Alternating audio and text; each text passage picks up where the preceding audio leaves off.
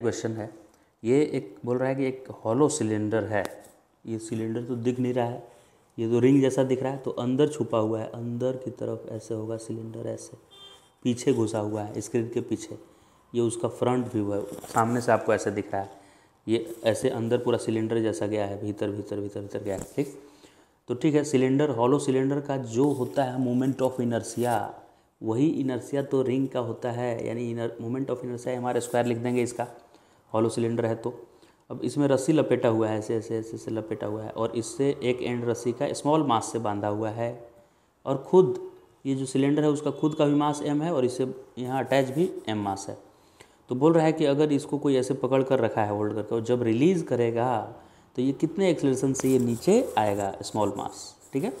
तो देखिए, इसमें दो इक्वेशन लिखेंगे, एक इसके लिए लिखेंगे। अब चूँकि ये ट्रांसलेशनल मोशन कर रहा है, इसलिए इस पर नीचे की तरफ़ फोर्स एम और ऊपर की तरफ़ टेंशन फोर्स रस्सी का तो net force is M G minus T net force equal to होता है मास इंटू एक्सेलरेशन इसका मास है एम और मैंने माना कि ये ए एक्सेलरेशन से नीचे गिरेगा तो एक्सेलरेशन को मैंने ए लिख दिया।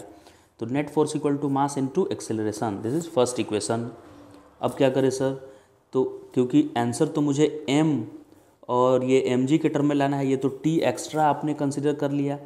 तो टी कैसे अब हटाएँ? तो अब इसके लिए लिखिए रोटेशन का इक्वेशन तो ये प्योर रोटेशन कर रहा है, इसलिए tau equal to I alpha लिखा जाएगा। टॉर्क कितना लग रहा है भाई इस पर देखिए, ये रेडियस और इधर से टेंशन टेंशन ही तो इसको रोटेट करा रहा है तो T into R T into R is torque मतलब टेंशन फोर्स इंटू रेडियस और टॉर्क इक्वल टू होता है आई अल्फ़ा आई क्या है? एम आर स्क्वायर होता है। आई का वैल्यू देखिए, यहाँ लिखे थे एम आर स्क्वायर और अल्फ़ा को लिखते हैं ए बाई आर अल्फ़ा है एंगुलर एक्सेलरेशन और ए है इसका टेंजेंशियल एक्सेलरेशन तो ए बाई आर मैंने लिख दिया। फिर क्या किया? फिर तो ये टी इंटू आर लिखा। फिर एम आर स्क्वायर यहाँ कॉपी किया हुआ है और अल्फ़ा को लिखा हुआ है ए बाई आर। आर ने एक आर ने एक आर को मारा और ये इधर वाला एक और था, इसको दोनों को ख़त्म कर दिया। तो t equal to M into A आया यहाँ से। क्या आ गया भाई? t equal to M A. अब इक्वेशन वन और टू को ऐड करें। इक्वेशन वन था M G minus T equal to M A और इक्वेशन टू आया t equal to M A. तो इसको ऐड करेंगे तो टी टी को मार देगा और इधर खाली एम जी बचेगा लेफ़्ट साइड में और राइट साइड में एम ए और एम ए बचा।